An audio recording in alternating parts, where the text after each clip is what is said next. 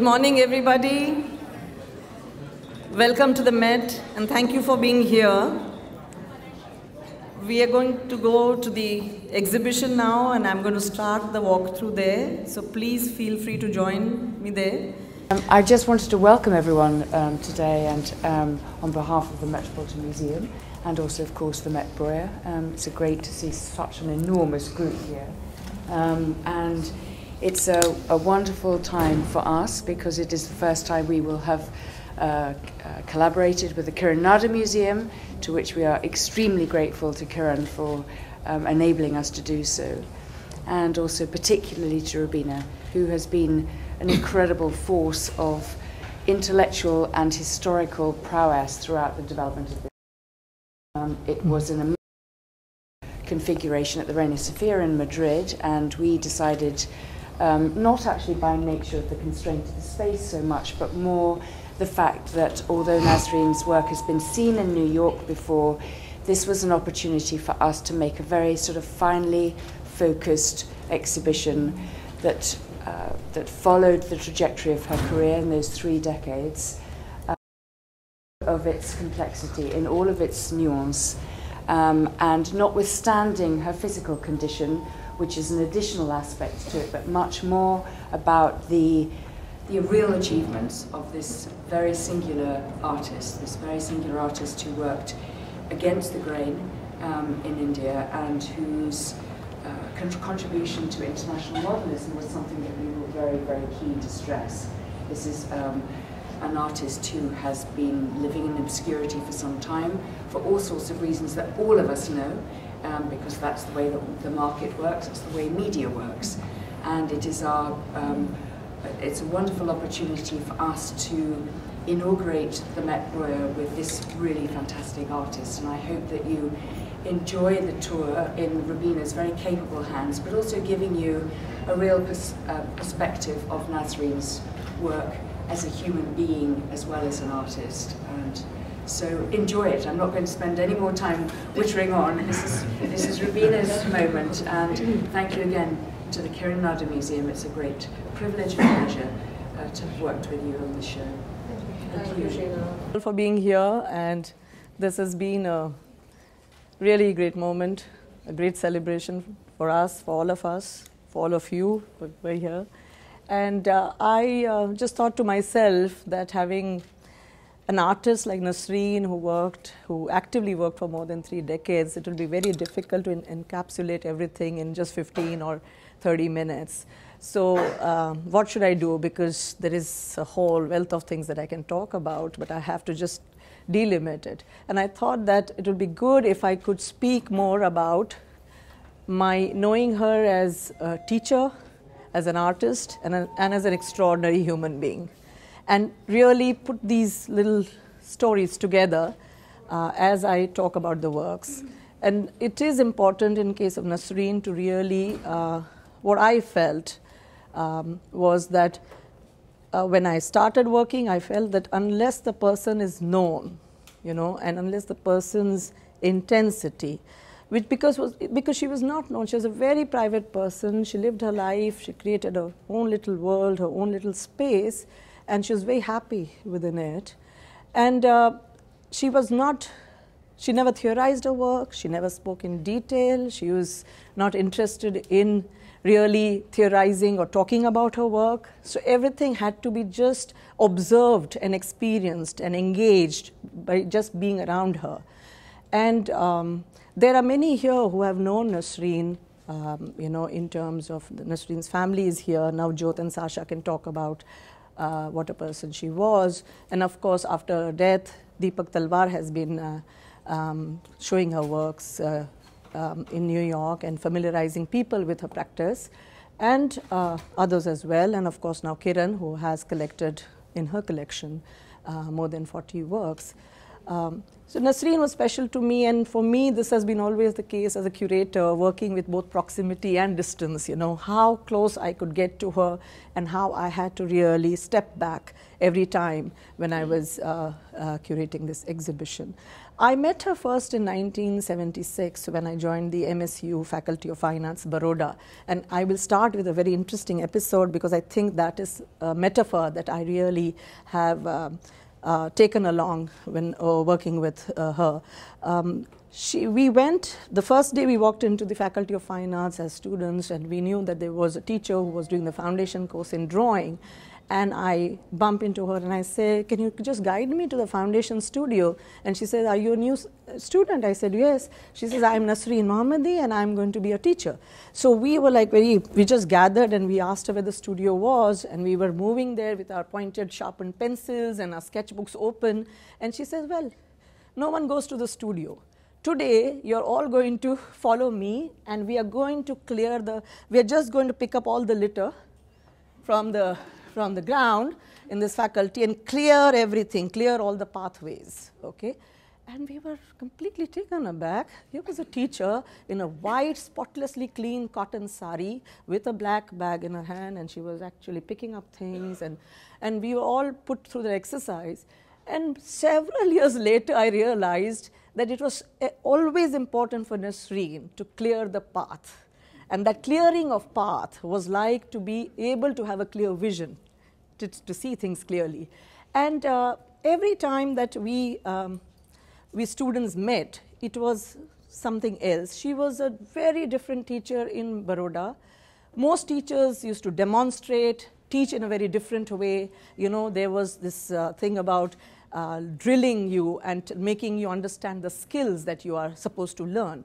But Nasreen was so special. She used to just walk us to the parks and gardens next door where you had the Sayaji Bagh garden. And she would be walking us there, and our classes used to be in the open air. And what was very interesting was she was always sensitizing us to there is a need to be acutely aware of your environment and things as they change around you every moment. And I remember it was a great moment. Sometimes she used to be, she used to get in this performative mode and suddenly say, Stop. I see a leaf falling. And there would be exactly a leaf falling from the. And I would wonder how did she have this how did she know? How did the leaf tell her that, you know, and she, the leaf would fall? And sometimes just, okay, you're hearing an echo there. Could, can, you, can you hear that echo? And we were amazed at how, how conscious and how aware she was of everything that was happening around her. And I think that was, this was a great learning because she uh, was not a teacher who believed in very pedantic ways of teaching and a conservative kind of teaching. She never, never spoilt a drawing made by a student, never drew a line over it, never spoilt it. She would always watch it for a very long time and then we say, and just that much, a gesture, this is good, or this, not working. and we would know that, yes, she signaled something that she's found. And the other thing that I now, when I see her works, I see all this coming back to me. She sensitized us to natural light and to shadows. So we would have these classes out, and she would make us, she would say, You can choose any tree that you want to sit in front of, and please capture the, capture the tones. And of course, sunlight is fleeting and changing all the time. So you have time only till noon. Because after that, everything will change, isn't it? So we would be capturing these tones and the tonal gradations and lights, and that would be the lesson. And it went on and on. And then what happened was in the, in the late 70s, we started feeling that she was not okay or something was wrong with her physically because she was twitching in the classes, she would be shaking, and uh, she would not be walking straight. And we realized, we never knew, she never told anybody, but just this realization that something was not really uh, okay. But she would be so warm and welcoming. And then I had a very strange experience. She called me once and said, Well, I came to know that you have got great marks in Hindi, great grades in Hindi. I have to pass an exam without which I would not get a permanent lecturership in Baroda. Okay, so you're going to te- let's have a deal. You will teach me Hindi every evening, and I will give you extra time to review your drawings. Okay, so I said okay, and we were neighbors, so that was possible. So I said, that's fine. So I used to go every evening, and then, okay, she would never like to send anyone away from students used to love her, they used to hound her. So she, he would, she would say, You will ring the bell thrice so that I know it is you. Okay? So I used to ring the bell thrice, and then she would open the door. I'm quietly uh, sneaked in, and I'm there.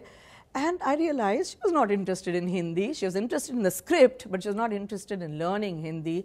But I had to really force her to do it because I wanted her to pass the exam. And then uh, she would, after a while, say, Okay, I think now it's okay, I'm going back to do my work. And when we were in this discussion, most times I realized that she would just blank out and go in some other space. She was she used to go into a trance almost, and her she was not there at all. I would feel, and then I would ask her, Nasreen, and she said, "Okay, I think I have to get back to my drawing board."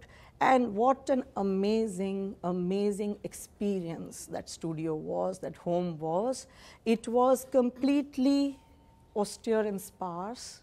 It had nothing there, barren walls, bare rooms. She had a drafting table in the center of her room with a low hanging lamp, and she would sit on the floor cross legged like a tapasvi, like a yogi, you know, sit there and she would draw her lines with the rapidography uh, rotring pens and with her ink.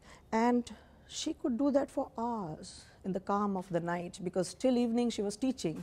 And she would play only classical vocal music, Hindustani, listening to Bhimsen Joshi for hours on. And that would be the scene I would see almost every day. And as I said earlier, she would after a while get oblivious that I was there. You know, she was oblivious to everything that was there. And she was just immersed in her work till I would then try to be fidgety. I was barely 17 years old. I would get, oh, what am I doing here? I'm restless now. And then she would look at me, wink at me, and then light a smoke and take a break. And I never understood her work then because it was so intricate, but I knew it was something so neat, so detailed. And I'd, she ask me, she'd keep her work and say, she'd stand there and watch, look at her work and say, So, what do you think? and I didn't know what to say. So most times I would say, very neat lines. That's all I could say. I never understood a thing. And I would just have this answer, and she would smile and she would say, Do you see? Do you see yogic meditation? And I said, Oh my God. I, I, so I was not really thinking of anything like that. I was just looking at that work. In the due course of time, you know, we really grew very close. And um, I think because I was a very shy, shy, introvert person, she started opening up in front of me. And um, we would meet, we would have uh, these little time when we would share a few personal things. And um, I realized that she was somebody who had extraordinary strength and conviction. She her life from the 1960s, late 1960s, since then she realized that she was suffering from Huntington's chorea, which is, uh, as you know, a neuromuscular degenerative uh, condition. And uh, she, was she lived with the consciousness of her impending death for so long. And she had a series of deaths of close ones, like she lost her two brothers, her father, her young nephew, and I lost my father when she, he was 47. And so there was this thing. But what I learned from her was this every time she was actually digging inner energies and trying to take inner strength from everything that happened in her life, the intensity of her life was that the moment she realized she was suffering, she wanted to live alone. She wanted to battle her every every fight alone and therefore she insisted. Her family so loved her. She had a wonderful family. There were eight siblings. There was a huge family. She realized she had to be alone. She had to be with herself and she had to live in solitude and work. And that would be her therapy and that would be the way for her towards what she was looking at. And so I always feel when I look at her work that her work is expressive in very subtle and distilled ways of her journey right starting from her early works where you see she was working with ink washes, she was working with uh, lines, she was working with um, uh, print, in printmaking. But every time that you see those works, you get a sense of everything with weathered, beaten, washed away. And you know, what was most important and which was discovered much later were her personal diaries.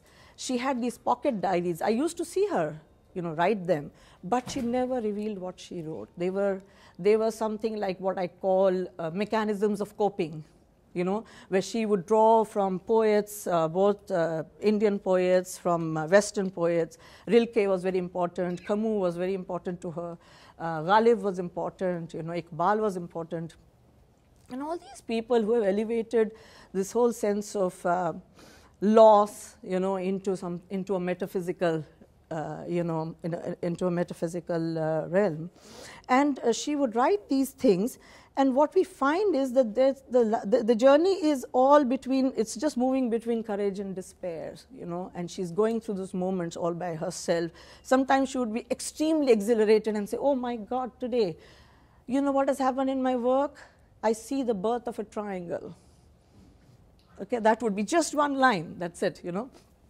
And uh, so when we got to read these personal diaries when they came into public domain, a lot of other critics could really look into her life. And there are these moments, like in nine, late 1960s, she's on a train to Baroda and she writes, you know, speak softly, you know, my uh, big inner energies, you know, my lines speak of, uh, my lines speak of death, of troubled destinies of death, you know. And there were these moments where she would uh, write these things. And beatings of life, that was dimensions out of solitude was another, you know, working from within was another, bringing everything to an inner necessity. And these kinds of little things would, these little phrases would come out in her diaries, and that is what, that is exactly what I saw when I, when I used to see in her, you know. So what I'm going to do when we go into the first section, I'm going to tell you just briefly what I see in these works and how then why and how and why she moved to making from a nature-based abstraction, why did she move to geometric abstraction? And this was this is what I personally feel why that shift happened in her. So I'm just going to walk here and love you to be in this space to see.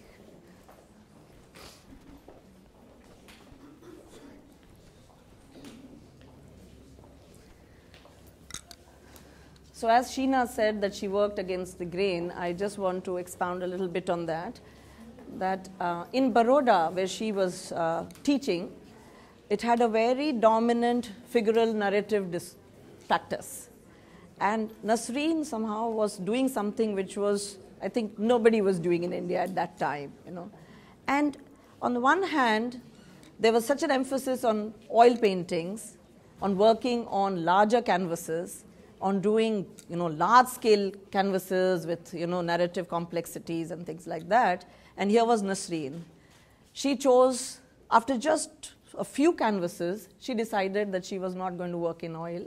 She was ready to shun this uh, medium, which is very forgiving, actually, you know, unlike uh, watercolor or drawings, you know, a little stain and it is there forever. It's a permanent mark forever.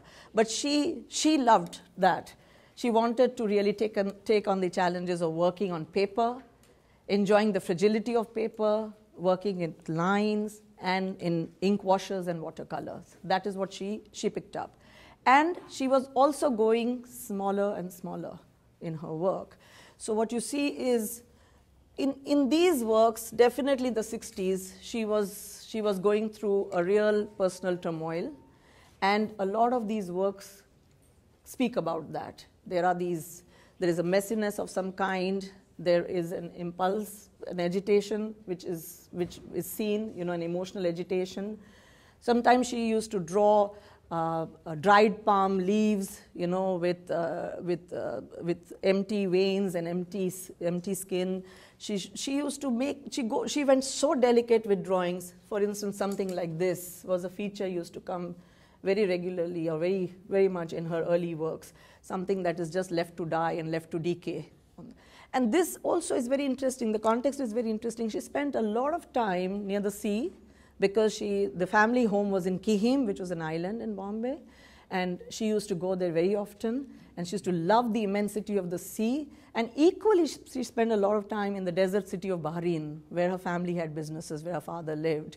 So she loved this, uh, this very vast emptiness, the stark emptiness of the desert. And both these places, whether you are near the sea or the, or the desert, you have stark light. And that light really gives sharp contrast, and the sharp contrast bring you very close to the reality of shadows. Okay, so it's very interesting how the work also took a lot from the place that she was. And I like this particularly because by this time, she was making these very delicate lines. And even when she used to teach us, she used to actually pull out a hair of hers and say, draw like this. And then she would show us, this is so delicate and so resilient. Okay, and she would literally do that when she was teaching. And uh, when I see, when I look at these works, they are like these very delicate, almost faint lines, but really resilient and standing on their own.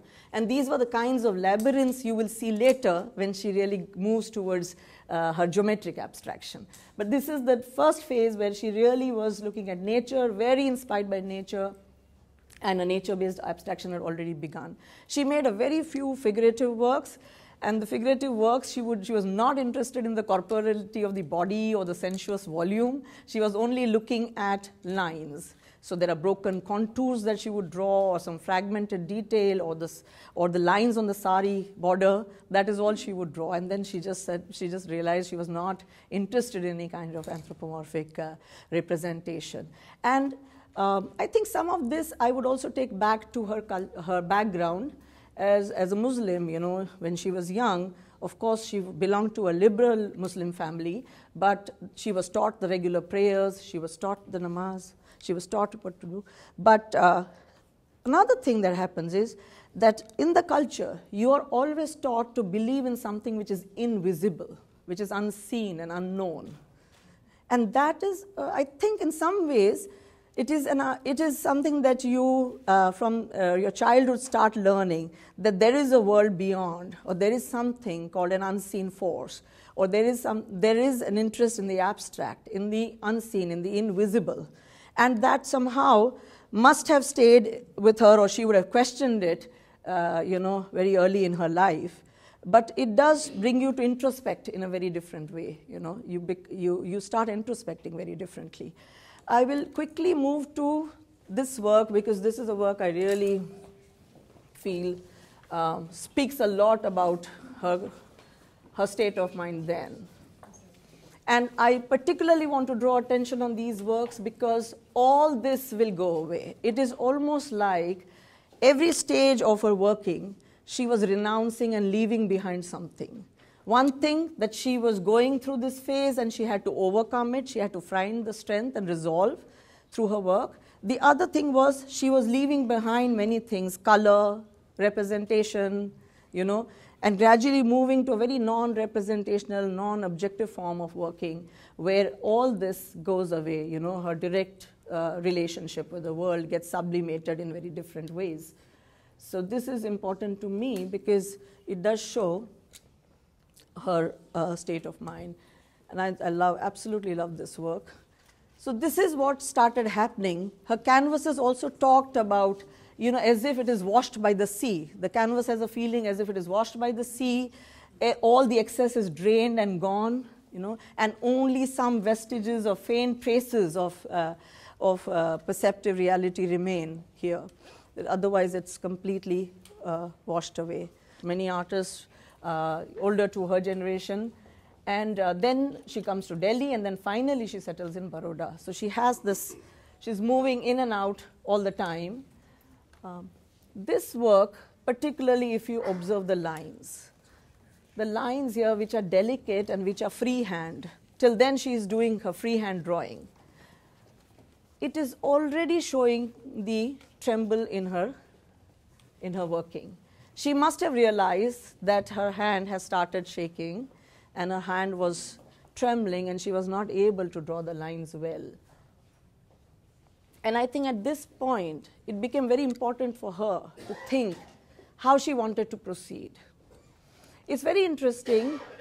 I cannot see her going to geometric abstraction without a reason completely. You know, if I have to look at it very in a very practical way, she moved to working with precision instruments like an architect works with a drafting table and the T square and the set square and the rot- because she was not ready to, to really let the world know, perhaps, that she was going to, through this problem. And she was, she was clear that she was going to face it more and more because her, her uh, muscles were involuntary shaking all the time.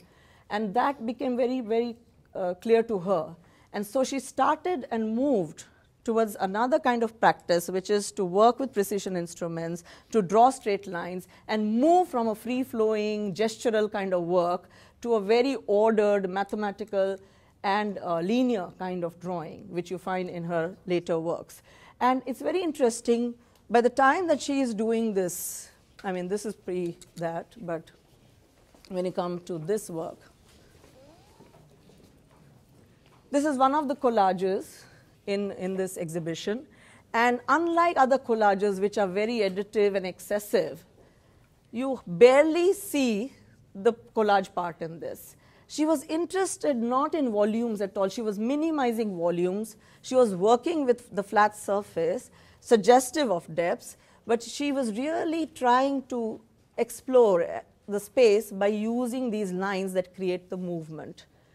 And in fact, I'm reminded of Miro and many other artists looking at this work, but it's interesting how only through, she's going monochrome by this time, she's leaving color behind, and she's going flat in her representation, but it is not static, it is not mechanical, it is dynamic, and it has this energy where it is constantly moving, which you also see later in her lines. And this is perhaps what she picked up from some of her important envelopes and things that she used to keep, and, and she has created the structure. When even in the studio, she would always talk about emptiness. Empty yourself, declutter your spaces. You know, her studio was spotlessly clean because she would mop it 20 times. One would think it's an OCD, yes, maybe, but but it would be so clean that you, when you walk, you could see your own shadow, your own reflection. She would mop it. And the walls, I realized after a very long time, when I used to sit, sit late hours in her house, that the walls were kept barren for a reason. Because the room had low illumination and there was this hang hanging lamp, what would happen is at night, shadows of trees would come on these walls. Okay, and the walls would act like screens. The walls would become screens, and you would see something so evanescent moving, and she would point it out to me. You know? So for me, now, but at that time, and they were very beautiful, the palm tree, you know, shadows coming there. And similarly, even in her photographs, she uses the ground as a screen you know, all the shadows falling, the, the whole notion of time, the whole notion of presence and absence, the whole notion of evanescence, you know, and, move, and movement was very, very important to her. And there are many such things that she talked about. And I talked, I go back to this notion of emptiness because as we move around, we will see that she was evoking the notions of emptiness and nothingness in her work, you know, and the emptiness, when she said empty yourself, what she meant was the Sufis believe actually. When you see the whirling dervishes, I don't know whether you have ever seen the Sufi dervishes when they dance.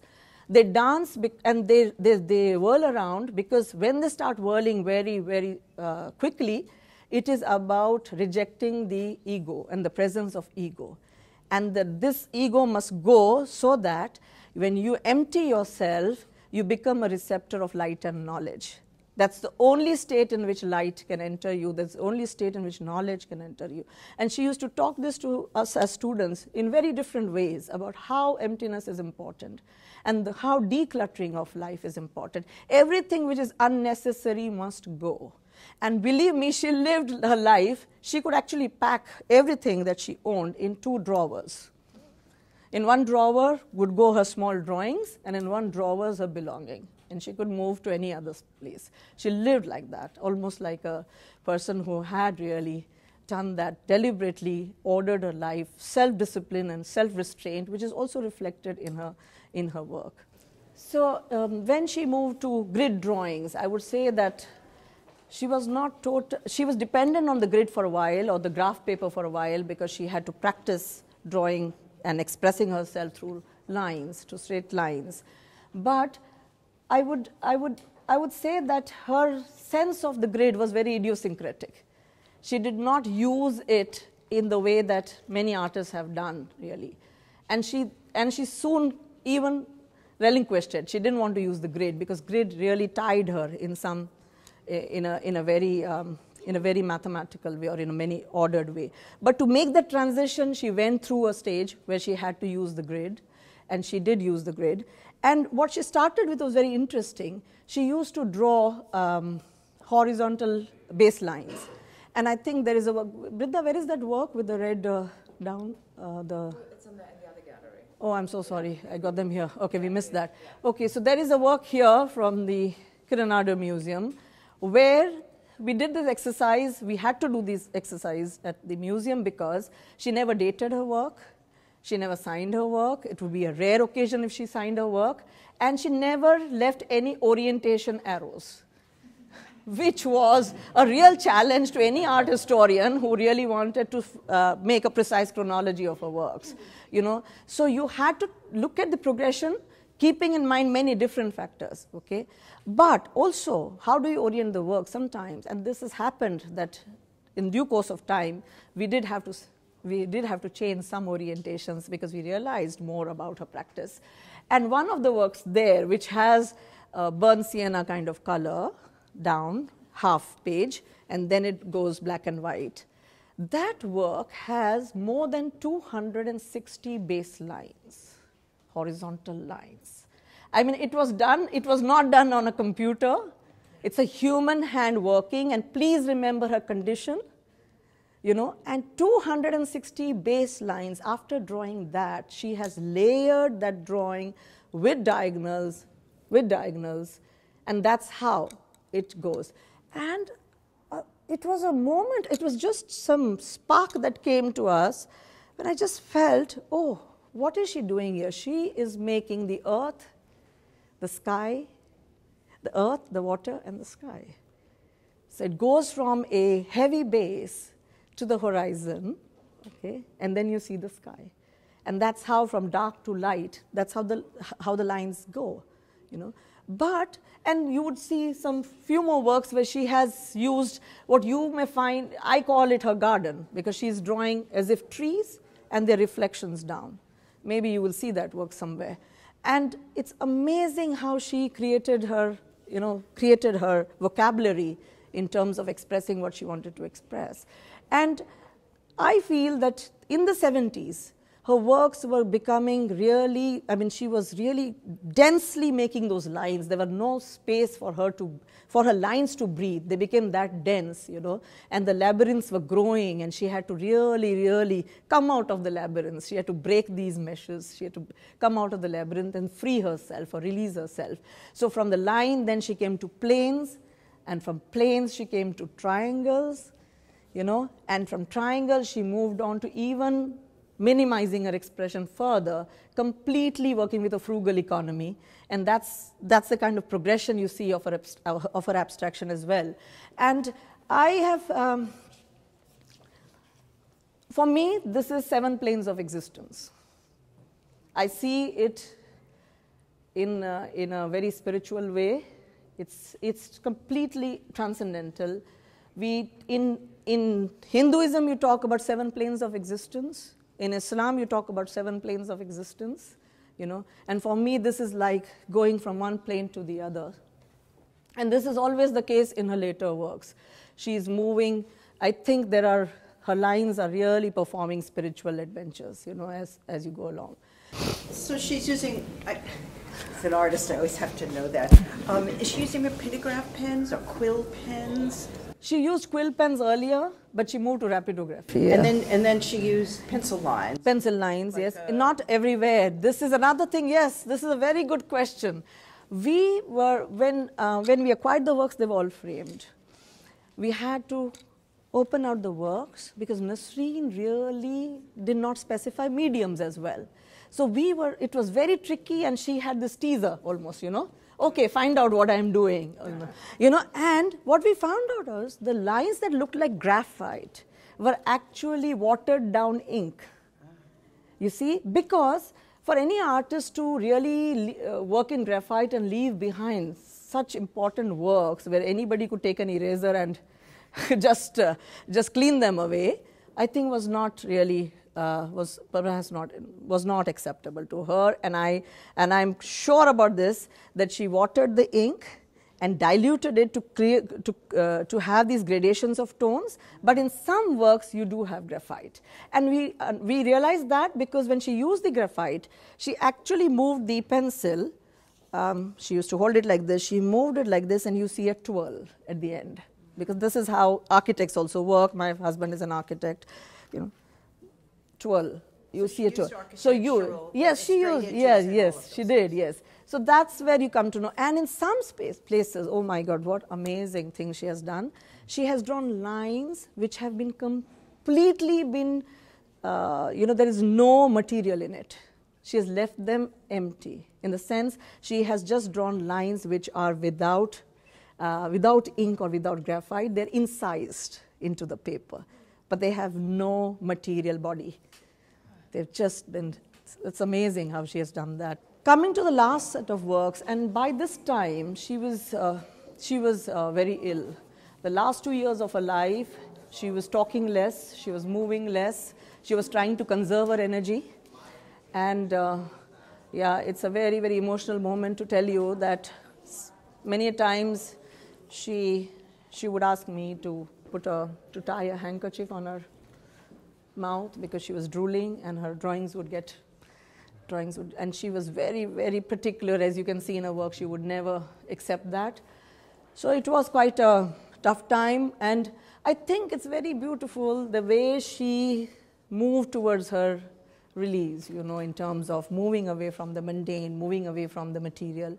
And in her diaries of the later period you find this that she writes that my work is moving you know. The search is for moving from a physical space to a non-physical space and from a material world to an immaterial space okay? And so this is what uh, where she was headed. And the economy of this expression is so beautiful because as i see it it talks it symbolizes for me flight. It symbolizes a release. It's like you have lifted yourself off the ground and left your body behind almost and, have, and the works have become ethereal and airy. There is no there is less material less medium less expression less of everything. It's just i think like a yantra in hinduism you say that you just have this little symbol which talks about this kind of a spiritual ascent. And this they became that.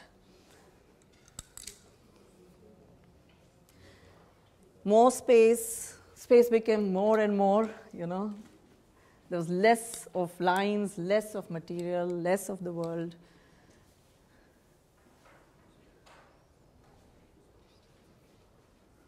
So, um, thank you very much for being here. And any particular work that you want me to talk about, I can, and I will tell you whatever I know of it or what was happening then in, you know, when she was doing that work. I'm ready to share that. Thank you. Thank you. Thank you. Thank you. Thanks. Thanks a lot.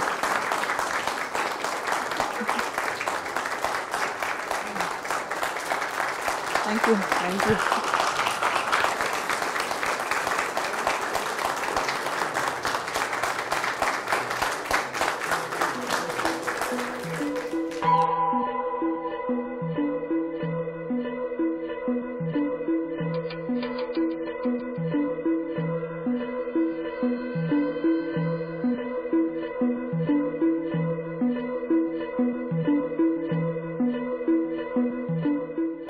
Not only exceptionally beautiful, it's wonderfully installed in the Breuer building, and the building itself is a wonderful home for these works.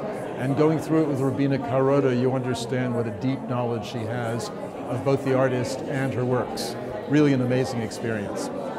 When I first saw this show at the Kiran Nadar Museum three years ago, I was by myself. I wasn't in a group as I am here at the new Met Breuer. And I found myself immersed in the quietness of that beautiful space of her museum. Um, when I came to see the show today at the Met Breuer, I had the wonderful opportunity to hear Roobina Karode speak so emotionally about her friendship, her colleague, the artist, who she learned a tremendous amount from, and then with a group of people, all who are embracing, lingering on every word, lingering at every picture, and really weeping uh, together. When I came here, I was kind of blown away by the beauty of the, of the abstraction of the art, art. More importantly, I think most people are not aware of Indian artists and art, and uh, especially the modern artists. And I'm glad this is being done by Kiran Nadar Museum to uh, set up an exhibit here in New York City, which is the capital of art, modern art, in this part of the world. Great. Hi, everyone. Uh, my name is Darren Oberst. Uh, I'm here at the uh, beautiful uh, Met Breuer uh, at a pre-opening uh, of the exhibition of Nasreen Mohamedi. Mohamedi's art. Um, I think the key takeaway for me is it, it, it's really a beautiful exhibit that gives you a view of you know, the chronology of her work and her life and really the interplay between the two.